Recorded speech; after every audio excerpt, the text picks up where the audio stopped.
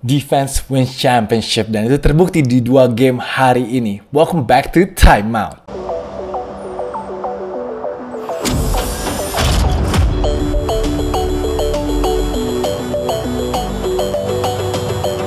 Balik minggu Padilla, kita kembali lagi ke info basket harian edisi 2 Mei 2022. Time out, geng. Pertama-tama gue yang mengucapkan selamat Hari Raya Idul Fitri untuk semuanya yang merayakan. Mohon maaf lahir dan batin and please makan opor ayam sebanyak-banyaknya hari ini karena gue di sini tidak ada opor ayam. please eat it for me karena man itu enak banget sih, the best sih opor ayam sih. So once again, please enjoy your lebaran and now I'm back in Seattle. Uh, empat hari akan ada di sini sebelum balik ke Jakarta, Indonesia untuk meliput DBL Camp. Excited for it. Semoga liputannya akan bagus dan akan lancar-lancar ya guys. And tadi gue mau cerita sedikit, gue juga hari ini random banget di Oakland Airport. Tiba-tiba ada Gary Payton man, the glove lewat di depan gate gue. Tadi gue lagi makan M&M's, nggak siap sama HP gue dan dia juga jalan agak cepet sih. Kayak dia agak telat juga uh, jalan ke GT tadi. Jadi uh, belum hoki sih, belum dapat foto sama the glove. Tapi uh, kemarin gue juga udah upload highlights untuk turnamen antar pelajar Indonesia di Martinez, California. Ini pastikan kalian bantu support dan juga untuk nonton ada Azril, ada Miguel, ada Ronald Pangela, mantan pemainnya Pelita Jaya juga. Udah lama sih nggak ngeliput anak-anak Indo. Gue kemarin seneng banget dan bisa nongkrong sama Azril sama Miguel pun, you know, cerita-cerita udah lama. I was so happy man. Jadi very blessed. Uh, jadi pastikan kalian support video tersebut. Uh, Sebenarnya di LA minggu depan ada turnamen lagi sih antar anak Indo, tapi sayangnya saya sudah pulang. Baru kalau di LA pasti makin banyak aja tuh talentnya tuh. Wah, kemarin aja udah lumayan bagus-bagus main menurut gua sih. Uh, tapi kalau di LA biasanya next level lah gitu anak-anak Indo. Jadi sayang banget sih, belum hoki. Mungkin next time ya. Semoga kita bisa untuk ngeliput anak-anak Indo lagi di Amerika. Oke, okay, once again, uh, once again gue mau say thank you dulu untuk semua yang tadi udah join live chat gue pagi-pagi subuh-subuh. Uh, ada satu orang yang nonton juga itu rame sih. So once again thank you so much yang udah stop by udah ngobrol-ngobrol sama gue. And of course thank you so much to all my members. Shout out to all my members yang always supporting this channel. And semua time out gang yang setiap hari sudah komen like dan juga sudah nonton secara full nggak di skip skip really appreciate everybody. Semangat terus gue bikin time outnya setiap hari. Kalau gitu guys kita langsung masuk ke comment of the day. Comment of the day datangnya dari kak. Namanya kak doang. Nonton dan denger Koroki memuji Doc River Strategy gonna be one of my biggest ataupun juga greatest achievement in life. Lol kasian banget sih masa greatest achievementnya cuma dengerin gue muji Doc Rivers saja udah dua kali loh kayaknya memuji Doc Rivers. Walaupun lebih seringnya ngetrol ya. Tapi ini adalah komen yang paling unik kayak kemarin ini pas gue baca jadi itu kenapa gue pilih jadi comment of the day. So shout out to Kak uh, for this comment really appreciate you dan thank you so much semua juga yang sudah meninggalkan komennya setiap hari di time out. Rock and roll maaf banget gue hari ini nggak sempet karena tadi pesawat gue tidur pulas dua jam jadi nggak sempet lihat apa-apa sama sekali. Dan sekarang juga uh, ya yeah, I'm so ready to sleep guys. But now sebelum kita tidur kita ngomongin tentang Warriors dulu karena ini penting banget nih. Golden State Warriors survive game one dan gue yakin semua Dub Nation hari ini senam jantung. Pasti kan jangan bohong loh nggak mungkin nggak senam jantung. Terus tuh di comment section di bawah. Uh, ya yeah, hari ini diselamatkan sama Clay Thompson dan juga Steph Curry menurut gue yang membuat big plays down the stretch untuk membawa Warriors menang 117-116 atas Memphis Grizzlies. Artinya Golden State Warriors sekarang memiliki home court advantage setelah mereka unggul 1-0 uh, sekarang ini menang di FedEx Forum. Uh, man, ini adalah di pertanyaan ini definisi perbedaan antara youth and team yang udah pernah juara dan juga experience kelihatan banget down the stretch. Uh, Clay sama Steph sayur banget sebenarnya mainnya di game hari ini. Uh, struggling with their shots, nembaknya jelek, lalu juga pada fall trouble di game ini. Tapi ya pengalaman sama mental seperti gue bilang, nggak bohong karena di saat-saat genting, saat-saat clutch time, ya mereka muncul aja karena mereka udah lupa itu yang sebelum-sebelum mereka cuma penting pokoknya mereka uh, di saat yang paling penting di saat yang paling crucial mereka akan make the plays. And that's what happened with Clay and Steph di game kali ini. Di satu menit terakhir tadi nunjukin masih mental juaranya. Apalagi tadi waktu si Memphis menang 2 poin Clay dapat bola ngefake dulu sebentar asli di 3 point bolanya masuk. Padahal Clay sebelum-sebelumnya nembaknya juga nggak masuk sih. Tapi ya di saat tembakan yang paling penting itu dia tenang banget sih. Tenang banget untuk nembak dan he knows his move dan dia mau ngapain nembaknya dari mana dia tahu dan itu kenapa dia bisa masuk dan of course setelah itu uh, gantian. Steph Curry uh, main dengan 5 fouls tapi tenang banget saat dia menjaga Jamoran. Lo tau Jamoran eksplosif banget. Uh, Curry bisa, Steph juga tadi bisa gampangnya ngefoul si Ja, tapi dia tenang dan dia ngikutin gerakannya Ja. Akhirnya dia berhasil ngeblok Ja, and that is probably the biggest defensive play untuk Steph Curry di game kali ini. and he was like, man, I locked that Ja shit up. Katanya dia setelah tadi berhasil main defense.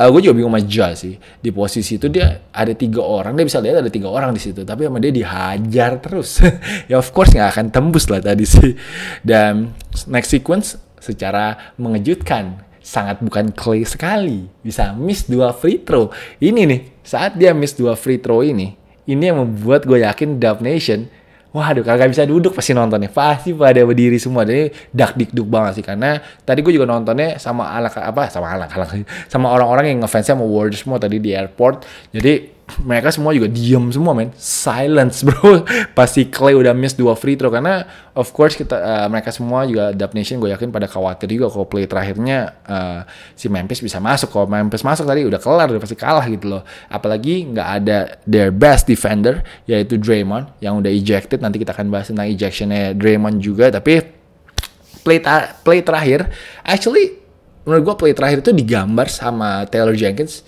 perfectly perfectly banget di mana Ja bisa ngelewatin GP2 uh, setelah menerima bounce pass dari uh, Desmond Bain. Tapi yang paling pinter adalah Clay. He knows. Dia tahu kalau Ja akan ke sana.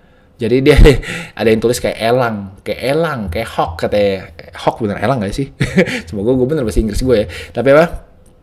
Uh, si Clay udah monitor sehingga Clay langsung help defense tadi ke uh, untuk membantu GP2 yang membuat Ja makin susah angle-nya. Angle-nya susah banget dan Ja pakai tangan kiri, men. Satu tangan, men. Satu tangan susah banget untuk kontrol bolanya sih menurut gue sih. Dan itu akhirnya momentum dia ke depan, pas momentumnya dia ke depan itu, ya dia mantulin untuk layup kekencengan sih. So itu experience sih menurut gue. Experience dari Ja juga yang belum cukup menurut gue. Uh, dan thought that was a bad shot by Ja Moran sih. Uh, kayak gitu. Tapi, man, props untuk Golden State Warriors. Championship place menurut gue. Dan ya si Clay Thompson berhasil made up for his miss two free throws. Bisa tenang akhirnya. Kata Clay akhirnya bisa napas katanya setelah itu. Uh, lucu juga si Clay sih. Si Clay juga ngomong F the free throws. Setelah tadi dia berhasil melakukan stop itu. Tapi uh, ini bedanya Warriors sama Timberwolves. Timberwolves mungkin bisa cok di kuarter keempat. Kok Warriors gak akan cok Warriors udah punya tiga cincin juara pemain-pemain ini. Mereka udah battle tested semuanya, and they will execute better down down the stretch. Jadi Memphis harus tahu tentang hal ini sih. Kalau dia not playing the Timberwolves. Uh, yang pasti selain Steph and Clay, uh, hari ini Jordan Poole, man. Gila, man, seberapa hokinya sih Golden State Warriors bisa punya Jordan Poole dari bench, bro. Tadi waktu Steph sama Clay jelek, of course, yang gendong yang carry Jordan Poole man. 31 poin 8 rebound 9 assist. Man udah gitu kepalanya dipukul dua kali nggak dapet foul lagi. That was really bad man. Menurut gue tadi ada hatanya dia 4 point play sih harusnya si Jordan Poole ini. And Steph hari ini selesai dengan 24 poin Andrew Wiggins 17 poin Clay Thompson 15 points dan kita nggak boleh lupa sama perannya Andrew Wiggins and Gary Payton the second game kali ini. And of course Gary Payton the second that dunk that dunk on Desmond Bain on his head, bro. That was amazing. That was like one of the best dunks so far. Ya, masih kalah sama dangnya Ja. Itu mungkin nomor dua lah. GP itu mungkin dangnya nomor dua lah selama playoff ini. Tapi yang pasti um, GP2 defense-nya Ja the whole game pretty good. And hustle-nya dia juga luar biasa tapi Wiggins man. Andrew Wiggins. Ini orang ngetap ngetap bola tuh enak banget kayaknya ya. Untuk mungkin dia nggak dapat rebound tapi dia bisa kayak create second chance point untuk timnya. Um, dan down the stretch actually dia ada beberapa rebound offensive rebound yang penting juga sih. Uh, dan terakhir dia yang box out saat lagi Clay uh, jaga Jamoran itu, itu dia yang box out untuk make sure Memphis itu nggak ada put back at the end. So hustle play dari Wiggins and Gary Payton ini tidak boleh dilupakan sama sekali sih. Um, Warriors tapi jujur hari ini memang baik cobaan dari wasit. Uh, dari yang tadi yang terakhir itu bola out. Gue nggak tahu kenapa nggak bisa di review padahal bolanya jelas yang yang ngetap adalah si Dylan Brooks. Dan of course yang semua omong omongin adalah Draymond Green kena ejected hari ini di mana udah kayak Antonio Brown ya. Udah kayak Antonio Brown dia tosin satu tim skipping around the court. Abis itu dia pasti ejected. Uh, dia pun juga langsung bikin podcast. Gue gak ngerti gimana caranya dia bisa bikin podcast secepat itu. Doi ini kayak ngejar setoran apa ngejar views nih dia tahu aja tuh pasti akan rame kalau dia react kepada ejectionnya dia hari ini. Gue gak tahu apakah NBA juga allow him to talk about that. Apakah nggak akan kena denda untuk si Draymond Green ini? Tapi jujur gue setuju sama apa yang diomongin sama Draymond Green di uh, podcastnya dia uh, ya mungkin ini adalah reputation thing man. This is a reputation thing. Karena gue udah beberapa kali-kali untuk lihat replaynya oke okay, ditarik bajunya memang si Brandon Clark sama Draymond Green. Tapi itu sama Draymond Green ditahan agar jatuhnya nggak terlalu keras gitu jadi at the most kalau menurut gue pendapat gue ini adalah flagrant one. Dan setuju juga wasitnya agak lama juga tadi untuk decide ya sih. Uh, I think kalau dulu kalau mungkin tahun 90-an ini this is just a common foul. This is just regular foul. Tapi nggak tahu kenapa sekarang uh, agak lebih apa ya, lebih ketat ya peraturannya. Dan kita juga nggak ada standar ya flagrant satu tuh kayak apa sih? Flagrant dua kayak apa? Kita nggak tahu standarnya kayak apa. Tapi um, kalau gue lihat tadi sebenarnya nggak terlalu membahayakan karena Brandon Clark juga lompatnya dua kaki. Jadi uh, semoga NBA will do something about it. Mungkin bisa dikurangin sama NBA kalau memang menurut mereka uh, ini hanya flagrant satu aja. Kalau gue sih jujur tadi kecewa banget sama keputusan wasit untuk eject si Draymond Green. Uh, for me this is a flagrant one. Untuk kalian apa kalian bisa tulis aja di comment section di bawah. Tapi tadi Draymond bilang man the streets wanna hear it man. The streets wanna hear it. Langsung bikin reaction bro gokil sih. Tapi uh, untuk Memphis, uh, this is a bad loss at home. Apalagi tadi Draymond udah di-ejected, uh, Jamoran 34 poin, JJJ, Jaren has his best game today, 33 poin, 10 rebound. Uh, anehnya tapi dia cuma main 31 menit deh, si JJJ, padahal cuma 3 foul. Uh, lagi red hot lagi red hot gitu harusnya dia main terus sih menurut gue sih tadi harus menitnya bisa 40 sih harusnya untuk JJJ uh, and next game of course untuk Memphis they will need Dylan Brooks untuk nggak aneh-aneh nembaknya. Tapi menurut gue, tapi kok ada dua airball ya dia nembaknya. Uh, bad shot selection by Dylan Brooks and of course Desmond Bain juga harus main lebih bagus lagi sih di game berikutnya. Tapi it shows ya menurut gue di game hari ini lo bisa lihat perbedaannya tim yang sudah pernah juara dan tim yang masih muda sekali. Oke, okay, berikutnya Milwaukee Bucks hari ini juga mengambil game 1 setelah menang 101-89 atas Boston Celtics. Giannis registered his second playoff triple-double dengan 24 poin, 13 rebound, 12 assist. Drew Holiday, of course, had a big game, 25 poin, 9 rebound, 5 assist, 3 steals. Played super defense menurut gue on Jason Tatum. Uh, Bobby Portis came to play, make big plays energinya luar biasa, vibesnya asik banget. You know the vibe G. Uh, 15 poin dan juga 11 rebound.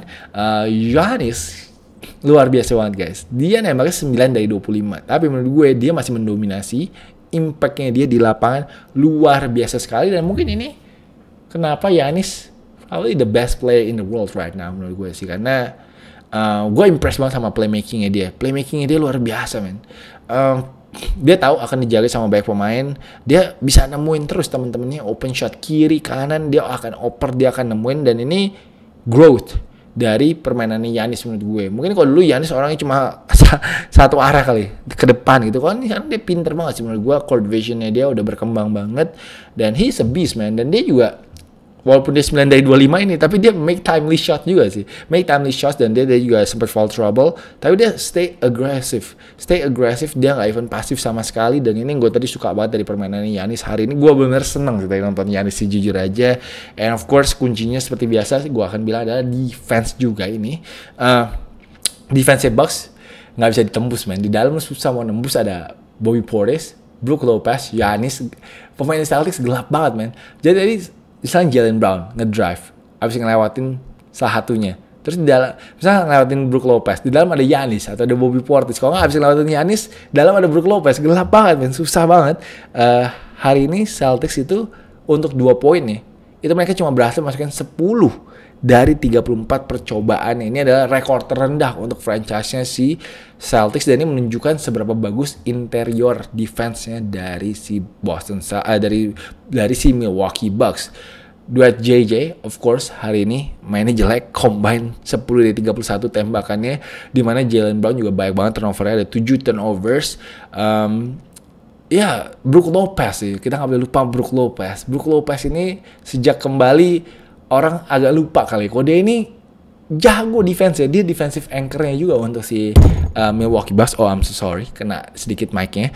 Uh, ya dia bisa jaga paint area, dia bisa kontes perimeter juga. Jadi pemain-pemainnya si Boston juga kebingungan juga tadi untuk bisa uh, nembak di depannya si Brook Lopez sama si Giannis sih. Uh, tapi gue gak lupa juga dengan guardnya si Milwaukee Bucks, Wesley Matthews, uh, Javon Carter actually played really well, uh, Pat Connaughton, Grayson Allen, everyone played the passing lane really good. Dan everyone showed up, everyone hustle. Gila men Wesley Matthews sampai jatuh-jatuhan juga sih tadi mainnya hari ini sih. Jadi um, gue impressed banget dengan strategi yang dilakukan sama coach Budenholzer di game kali ini. Uh, sampai tadi Brad Stevens 8 menit sebelum game udah capek deh udah kayak man I'm done with this shit. I'm going home. Uh, kelar ketangkap kamera lagi bisa aja ketangkap kamera gue juga bingung sih. Tapi yang pasti Milwaukee Bucks look so scary man. If they could be consistent ya kita harus lihat nih mereka bisa consistent atau enggak. Sebenarnya sih Boston punya kesempatan menang, of course mereka punya kesempatan menang karena sebenarnya sebenarnya mereka ada beberapa open shot three point, tapi sayangnya tembakannya nggak masuk sih. Jadi next game kuncinya untuk Celtics mungkin untuk nembus interior agak berat. Walaupun ya mereka biasanya bisa nyetak 45 poin per game inside the paint area. Hari ini cuma 10 kok nggak salah. Kok nggak salahnya tadi cuma 10 doang. Jadi perbedaannya jauh banget. Tapi seperti gue bilang, big line apa si Milwaukee Bucks itu giving Celtics offense a lot of problems. So we will see nanti next game gimana. Tapi menurut gue satu-satunya chance mereka untuk bisa menang adalah mereka have to hit their three point shots. Hari ini mereka 18 dari 50. Uh, a lot of three points. Tapi emang itu yang harus mereka lakukan sih karena mereka sulit nembus ya. Nah, karena gue gak bisa nemu informasi adalah Marcus Smart. Tapi Marcus Smart pundaknya sempat lepas, sempat dislocated, tapi dia main lagi. Tapi terus dia kayak ada problem sama knee-nya Nah, ninya ini gue gak ada informasi nih. Kalau ada punya informasi, saya tulis di comment section nih. Apakah Marcus Smart bisa main atau enggak di game berikutnya? Oke, okay, uh, eh, itu yang gue ingin bahas untuk game hari ini. Uh, kita langsung masuk ke prediksi. Gila videonya udah 17 menit aja nih. nggak berasa. Um, hari ini kita di prediction geng satu-satu gara-gara Warriors hanya menang satu poin. Asem banget gara-gara Clay dua kali free throw langsung nggak cover. Kurang hoki kita. Apa besok ada dua pertandingan. Uh, pilih besok of course nggak ada Embiid game satu game dua. Artinya no interior defense. Karena kunci defense yang Sixers of course ada di Embiid. Uh, mereka harus berharap banget sih sama Harden Maxi sama Harris untuk nyetak poin banyak banget besok uh, melawan Miami Heat main di Miami juga. Tapi menurut gue sih kayak berat ya. Miami juga defense-nya gokil banget. Uh, gue yakin mereka juga ada punya defensive scheme sendiri untuk stop si Harden besok ini. Jadi gue besok akan milih Heat aja sih. Gak mau mikir terlalu banyak. Heat minus tujuh setengah sih. So hopefully I got it right. So good luck everybody. Karena kita masuk ke top styles. Top styles datang dari Jonathan Kuminga nih. Udah pakai Kobe Six Mambasita aja nih. Cepet banget dia dapetnya ini baru rilis kan ya setahu gue dan juga pasti udah sold out lah. Ini pasti resell juga tinggi banget. Ini simple banget sih tapi galak menurut gue sepatunya. Ini sepatu galak banget sih menurut gue sih. And rest in peace to everybody and the helicopter accident. Um, yeah, Yohanes hari ini pakai Zoom Freak 3 dengan strap warna pink, outsole warna pink, tapi gue kurang suka nih. Gue kurang suka kombinasi warnanya. Kayak kurang aja sih, nggak kena nih di gue. Dan terakhir Puma Lemelo keluar warna uh, keluar tema baru, tema galaksi. I kinda like this though. Tapi gue nggak tahu dipakai di lapangan gimana, tapi this is pretty cool though. Ini temanya anak zaman sekarang banget sih. And sekarang kita masuk ke top place, of course Jalen Brown goes up to punch this putback slam keren sih. And yang berikutnya Yanis off the backboard uh, for the two-handed slam against the Celtics. Dan terakhir ini dunk off the night GP2 man on his head. Desmond Bain kasih masih tapi gue masih nggak ngerti kenapa ini nggak nomor satu sih di top place nya NBA hari ini sih. That is so weird. Oke okay, player of the day uh, gonna give it to Clay Thompson. Gue tahu dia cuma 15 poin, 6 dari 19 tembakannya, tapi menurut gue he made the two biggest plays untuk Warriors untuk bawa mereka menang hari ini. Uh, that three point shot and that last defense on John Moran and that is why he is our player of the day. Time out, geng kita sudah ada di akhir timeout hari ini. Thank you so much for joining me hari ini dan mungkin besok kita akan mulai memperkenalkan calon-calon rookie yang akan ada di NBA draft tahun ini. Uh, ya, yeah, hopefully aku, uh, I, aku lagi, hopefully I could uh, share some new information kepada kalian semua dan semoga besok game seru ya. Kalau game seru besok kita akan bikin timeout lagi. Uh, we'll see tomorrow. Uh, besok ada Phoenix lawan Dallas juga sih. Phoenix lawan Dallas should be good game sih. Should be a good game. So yeah guys, enjoy your lebaran once again. Mohon maaf lahir dan batin. Selamat Hari Raya Idul Fitri. Once again, enjoy your time with your family. Thank you guys so much man for spending some time with me today. And ya yeah, jangan lupa untuk like, jangan lupa untuk comment, and I will see you guys again very soon. Peace out.